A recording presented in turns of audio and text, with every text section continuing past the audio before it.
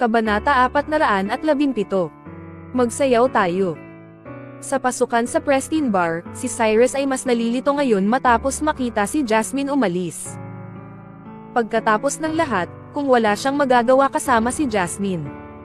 Kung gayon mas kaunti ang kinalaman niya kay Jasmine karamihan sa mga ito. Ang kanilang dalawa ay nagkaroon ng maikling iyon nakatagpo sa elevator na isang beses at wala nang iba pa noon. Ito ang dahilan kung bakit Cyrus hindi maintindihan kung bakit nais ni Ann makipagkita sa kanya sa gabing iyon. Maari bang ang babaeng ito ay nagpaplano na maghanap ng problema sa akin dahil hinawakan ko siya ang elevator na isang beses?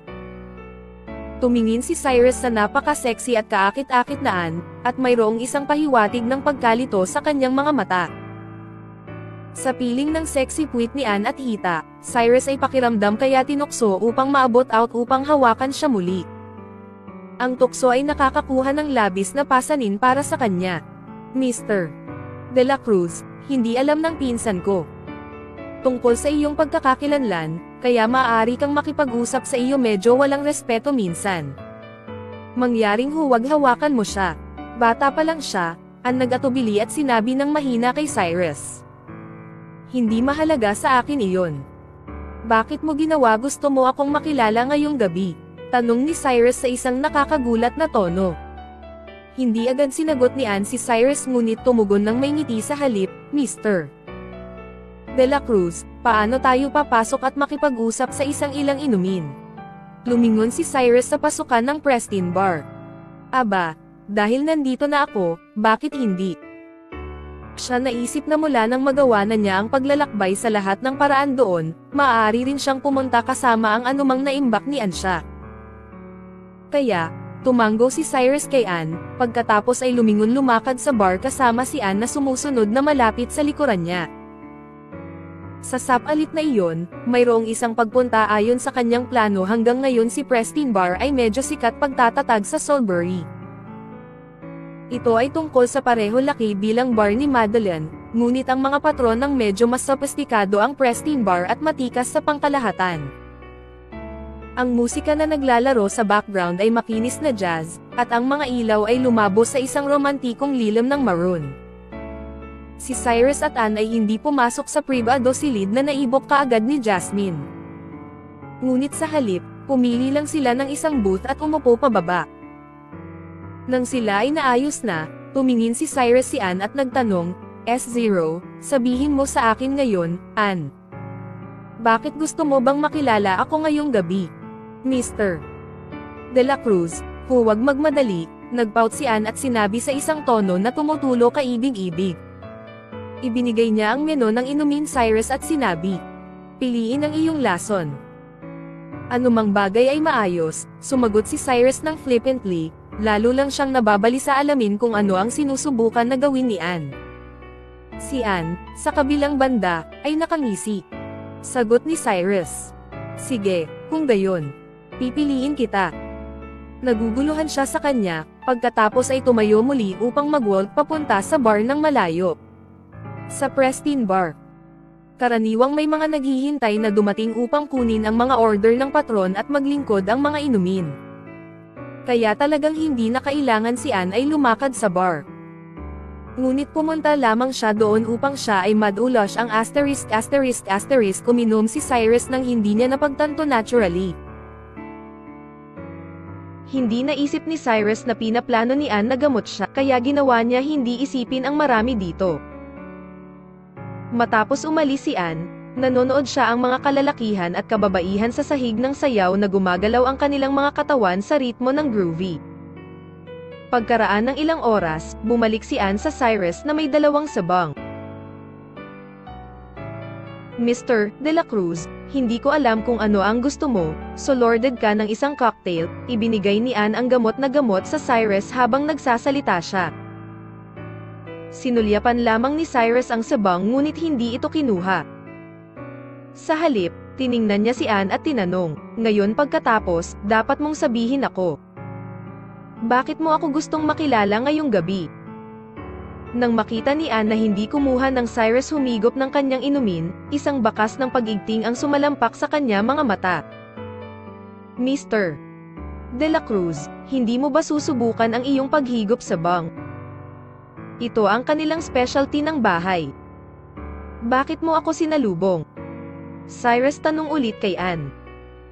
Sa oras na ito walang tiyaga si Anne ay nahuli sa pamamagitan ng mas mahirap na Cyrus tono at pagkatapos ay sinabi ng lubos na El kaibig-ibig, Well, hindi kahit ano ng espesyal, talaga. Ito lang ang gusto ko humingi ng tawad sa iyo ng personal para sa hindi alam ng kadakilaan noong una kitang nakita sa kumpanya. Iyan ang lahat ng ipinaliwanag niya, naging boses ang boses niya malambot at malambot, tulad ng siya ay nakakakuha ng masyadong mahiyain, inimbitahan mo ako sa bar na ito para lamang dito. Nagtanong si Cyrus na may isang nakakagulat na ekspresyon, nakasimangot. Oo, iyon lang ang aking dahilan, talaga. Lang nais na humingi ng tawad sa iyo. Alam nang na ikaw hindi sasabihin oo, at iyon ang dahilan kung bakit kailangan kong hilingin tulong ni Jasmine, nagpatuloy si Anne sa isang kaibig-ibig. Tingnan mo ang mukha niya pinahigpit ni Cyrus ang kanyang mga mata kay Anne. Ginawa niya parang hindi nagsisinungaling, tumugon siya, Anne, matagal na iyon. Hindi mo kailangang kunin ito sa puso. Talaga. Nanlaki ang mga mata ni Anne kaguluhan nang marinig niya ang Cyrus mga salita. Ng course, Cyrus tumango ng walang magawa, kung gayon, nangangahulugan ito na pinatawad mo ako, tama, mister. De La Cruz tumingin si Anne kay Cyrus at nagpatuloy. Oo, matagal na kitang pinatawad. Sa katotohanan, nakalimutan ko na rin ito. Cyrus. Tumingin kay Anne at tumango ulit. Kung gayon, Mr. De La Cruz paano ang tungkol sa paggawa namin toast sa cocktail na ito? Sa kapatawaran, at sa atin bagong pagkakaibigan, si Anne ay isang matalino babae, at kinuha niya ang pagkakataon na itaas pareho ang kanilang mga baso ng cocktail. Nag-atubili sandali si Callum. Wala siya balak na manatili ng matagal, kaya naisip niya na lang tapusin ang kanyang inumin at magpalipas ng gabi. Siya kinuha ang kanyang baso at klinke dito nang malumanay si Anne, pagkatapos ay uminom ng sabang. Isang ngiti ang sumalampak sa mga mata ni Anne nang makita niya tapusin ng Cyrus ang inumin sa isang gulp. Ito ay medyo masarap na cocktail, sa katunayan. Kahit na si Cyrus ay nagtrabaho sa isang bar dati, ito ang una niyang pag-inom ng isang sabang. Inilagay ang kanyang baso pabalik sa mesa, tumayo siya up at sinabi kay Anne, Well, kung wala na iwan para sa amin upang talakayin, pagkatapos ay umalis ako. Magandang gabi, MS. Blanchard. Hindi inaasahan ni Anne na magiging Cyrus sa sobrang pagmamadali umalis. Ang kanyang aphrodisiac ay tumagal ng hindi bababa sa kalahating oras upang magkabisa, kaya kung umalis si Cyrus ngayon, pagkatapos lahat ng mayroon siya nakamit hanggang ngayon ay walang kabuluhan. Pinagrack niya ito utak para sa isang paraan upang magstall para sa oras. Isang light bulb ang umalis sa kanyang ulo, at siya dali-dali na naabot at kinuha ang Cyrus Vary, at pagkatapos ay sinabi ng malumanay, Mr. De La Cruz, huwag maging sa sobrang pagmamadali umalis. Hindi ka masyadong lumabas. Ikaw. Aba, dahil nandito ka na, hayaan mo na sayaw. Sayaw.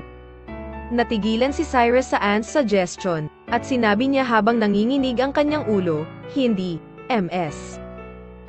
Blanchard, hindi ako marunong magkasayaw. Hindi mahalaga kung hindi ka marunong sumayaw. Kukunin ko turuan kita sumayaw, sinaktan ni Anne si Cyrus ng isang kumikislap ngumiti at pagkatapos ay kinaladkad si Cyrus sa sayaw sahig nais ni Cyrus na eye down si Anne. Ngunit ang pagkakahawak ng babae sa kanyang palso ay napakalakas na hindi niya maiiwasan ang braso niya nang wala. Nasasaktan siya. Di nagtagal, nakarating sila sa gilid ng sahig ng sayaw. Maghintay. Hindi ko talaga alam kung paano sumayaw, kaya panoorin kang sumayaw mula sa mga sideway, paano? Tungkol doon. Aalis na lang ako matapos ka sumayaw, kaya sige. Nagalit si Cyrus kay Anne gaanong, hinihimok siyang sumayaw mag-isa. Kung gayon, hindi mo maiiwan ang iyong sarili, Sige, nag-atubili si Anne ng ilang sandali sa Cyrus mungkahi. Hindi niya mapipilit siyang sumayaw, pagkatapos ng lahat. Huwag kang mag-alala, hindi ako aalis. Sige lang, sagot ni Cyrus. Sa ilang pag-aalangan, iniwan ni Anne ang Cyrus at humakbang papunta sa sahig ng sayaw. Kabanata 418 Cyrus ay nawala crazy. Bumili lang si Anne ng oras upang ang aphrodisiac na pinapakain niya si Cyrus ay magkakaroon nito pagkakataon na magkabisa. Iyon ay why na mayroon siya kinaladkad ang Cyrus sa sahig ng sayaw. Kahit na sinabi sa kanya ni Anne na ito ay para lamang humingi ng tawad sa kanilang mga nakaraang bygones, nagkaroon si Cyrus pakiramdam na may higit pa sa gabing ito kaysa yan lang. Hindi pa niya alam ang totoo ni Anne layunin para sa pag-anyaya sa kanya sa isang bar. Ngunit mula pa sa gabi pa ay bata pa, at wala siyang mas mahusay upang gawin kung umuwi siya. Naisip niya na dapat siyang dumaykit sa paligid upang malaman. Pinili niya ang isang random na upuan sa mga gilid ng sahig ng sayaw, pagkatapos ay pinanood bilang naglakad si Anne papunta sa sahig ng sayaw sarili. Pagkatapos nito, marami ng tao sa sahig ng sayaw, at mayroon pa ring presensya ni Anne agad na naakit ang atensyon ng hindi mabilang mga tao doon. Ang kanilang mga mata ay nakadikit sa kanyang figura at sinundan siya kahit saan siya lumipat tulad kabaligtaran ng mga poste ng magnet. Ito ay maliwanag mula nang magbihis si Anne maganda sa gabing iyon, ang figure na tulad niya ay isang panaginip. Gusto siya ng mga kalalakihan, at nais ng mga kababaihan maging siya. Kahit na, si Anne ay may mga mata lamang para sa Cyrus. Siya hindi binigyan ng pansin ang mga stairs na siya nakakaakit. Pagkatapos ng lahat, ang kanyang pangunahing layunin ng gabi ay Cyrus. Pinagmasdan niya ang kanyang mga mata Cyrus habang lumipat siya, nag-aalala na gagawin niya umalis bigla. Ang mga ilaw sa itaas ng bar ay umiikot mabilis, nagniningning ng mga sparkling na ilaw sa sayaw sahig. Ang mga tao sa sahig ng sayaw ay pag-twist ng kanilang mga katawan sa ga-groovy beats ng musika. At dahil ang lugar ng sayaw ay medyo makitid, hindi makakatulong ang lahat ngunit sumayaw kasama ang kanilang mga katawan ay pinindot laban sa bawat isa. Ang bawat tao'y mukhang parang pumasok sila sa isang estado ng lubos na kasiyahan sa sahig ng sayaw. Marahil ito ay ang uri ng kapaligiran na nais ng isa. Karanasan sa isang bar na puno ng maganda mga kababaihan. Marami nang nakipaghiwalay si Anne, kaya natural siya ang sahig ng sayaw sa ngayon. Inilipat niya ang kanyang katawan deftly kasama ang musika, ang kanyang malambot, malasotla na buhok sumasayaw kasama niya sa hangin habang siya ay tumulo ang kanyang ulo sa mga groovy beats. Habang ang musika ay naging higit pa matindi, ang paggalaw ni Anne ay naging higit pa at mas malakas, at pinalabas niya ang mga pagsabog marahas na kagandahan. Ang mga maliliit na kwintas ng pawis ay tumulo pababa ng kanyang pointy chin, at ang kanyang buong, sexy labi nanginginig ng bahagya sa kaligayahan. Kahit sino na malapit sa kanya ay nakuha ang kanilang puso sa kanya, ngunit gumagalaw lang siya para makita si Cyrus. Ang kanyang mga mata sinanay pa rin siya, sinusubukan ang kanyang makakaya akitin ang kanyang pansin. Nang gabing iyon, nagpa siya si Anne sa sarili na siya hahayaan siyang magbantay ng lubusan at ibigay lahat ito para sa pagkakataong makasama si Cyrus. Ito ay isang big shot siya ay handang kumuha. Isang beses lamang sa kanyang buhay, siya ay pupunta sa labas ng isang tao tulad ng Cyrus. Nang mailagay niya ang sabang ni Cyrus kasama ang gamot, inilagay din niya ang kaunting ito sa kanyang sarili uminom, para lang matiyak na pupunta ang kanyang plano maayos sa gabing iyon. Ayaw ni Anne sa kanya kinakabahan upang makakuha ng paraan ng isang magandang bagay nangyayari. Nakalusot si Cyrus kay Anne habang pinapanood siya lumipat sa sahig ng sayaw. Sa nagsisimula naramdaman ni Cyrus na medyo kalmado siya at nakolekta. Gayunpaman, sa ilang kadahilanan, nagsimula siya upang makaramdam ng malabo ng biglaan. Pinagpalit niya ang kanyang sarili sa kanyang upuan, at mga pangitain ng kanyang pakikipag-ugnay sa si Roxanne mula noong nakaraang gabi ay nagsimulang mag-flash sa buong isip niya. Naramdaman niya ang kanyang sarili na pukaw sa memorya ng pagpindot sa isang bata mga suso ng babae, at nagsimula ang kanyang puso bilisan. Sa katunayan, hindi na kontrolado ni Cyrus. Ang kanyang damdamin, tulad ng gamot na sa wakas ay kinuha epekto. Si Anne, na medyo tipsy sa kanyang sarili, ay pinapanood siya sa buong oras mula sa sayaw ng sayaw at napansin ang pagbabago sa Cyrus mukha. Nakakuha siya ng isang hindi maipaliwanag na kaguluhan sa dibdib ni Anne.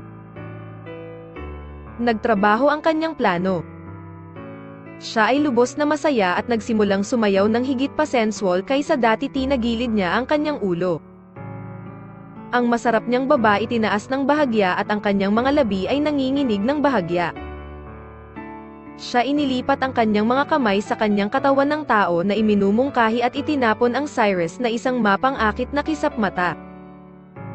Nakakakita ng tulad ng isang magandang sayaw na babae mapang-akit na magpapadala ng mga pandama ng sinumang tao sa isang siklab ng galit, at si Cyrus ay hindi naiiba.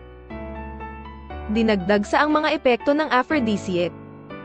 Naramdaman ni Cyrus ang lahat ang kanyang mga pagtatapos ng nerbiyos ay nasusunog sa isang nagniningas pagnanasa, siya squinted at nakatuon sa mukha ni Anne.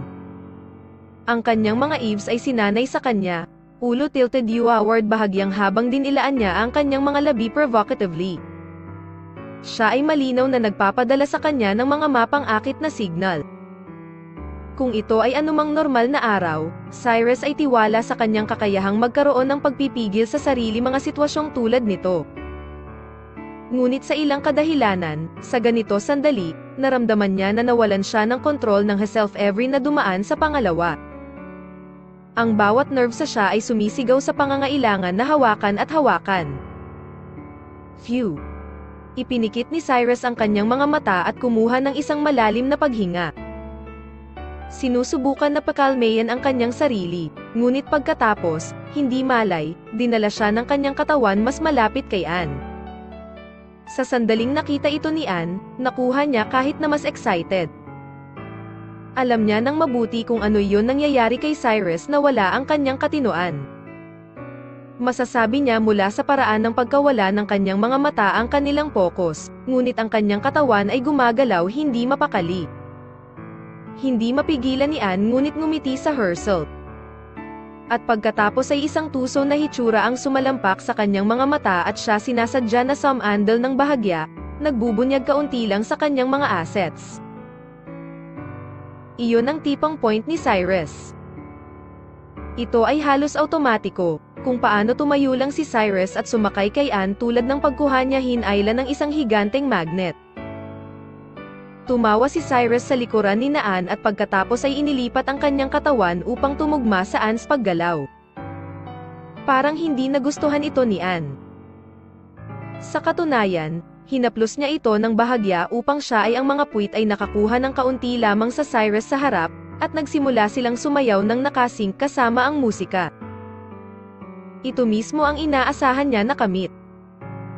Ang ilang mga beats sa pagsayaw ng magkasama, An napansin na walang ginagawa si Cyrus maliban sa paglipat sa ritmo ng malapit sa likuran niya. Tumingin siya sa Cyrus na mausisa at natagpuan na tila sinusubukan siya ni Cyrus pinakamahusay na makontrol ang hiself isang kakatwa ang sumabog sa maganda ni Anne mga mata. Hindi niya naisip na Cyrus antas ng pagpipigil sa sarili ay magiging nakakatakot. Kung ito ay may ibang tao, magiging lahat sila sa kanya ngayon. Hindi ko ito gagawin. Hindi ko magagawa ito. Sa ito sandali, isang tinig sa isip ni Cyrus nagpapaalala sa kanya. Cyrus bit ang kanyang dila mahirap, sinusubukan ang kanyang makakaya upang gisingin ang kanyang sarili. Umiling-iling siya at mabilis na lumingon sa ulo sa labas ng sayaw sahig. Sa sandaling ito, gayon paman, naabot ni Anne lumabas at hinawakan ang kamay ni Cyrus at inilagay ito ang payat niyang baywang. Ang sandali ng kamay ni Cyrus hinawakan si Anne, blanko ang isip niya at naramdaman niya na parang nakuryente siya. Sa susunod na segundo, patuloy na nagsway si Anne sa musika, inilalagay ang kanyang mga kamay ng malumanay ang baywang ni Cyrus. Agad na agad ang musika sa sahig ng sayaw naging mas matindi, at parang lahat ng ang mga nakapaligid na ilaw ay naka-off, naiwan lamang isang spotlight na nagniningning sa kanila. Hinawakan ni Anne ang pagkakahawak niya sa kanyang mga hips kailanman bahagyang. Tumayo sa tiptoe, pagkatapos ay pinindot ang kanyang malambot pulang labi laban sa kanyang mapang akit sa sandaling iyon, ganap na ganap si Cyrus kinuha abak. Ang alam niya lang ay si Anne na binabalot ang kanyang mga braso sa kanyang leeg at gumagalaw ang labi niya sa kanya. Sa wakas ay hindi makontrol ni Cyrus ang kanyang emosyon pa at sumandal sa halik din. Ang dalawa ay hinalikan ng labis sa sayaw sahig, ang kanilang mga katawan ay kusang loob sa bawat isa. Si Anne ay lubos na masaya dahil alam niya na ang kanyang plano sa wakas ay nagtagumpay. Lahat ng nais ni Anne ay makita ang Cyrus go baliw para sa kanya, at pagkatapos ng lahat ng masakit na sakit pagpaplano, sa wakas ay nabaliw na si Cyrus.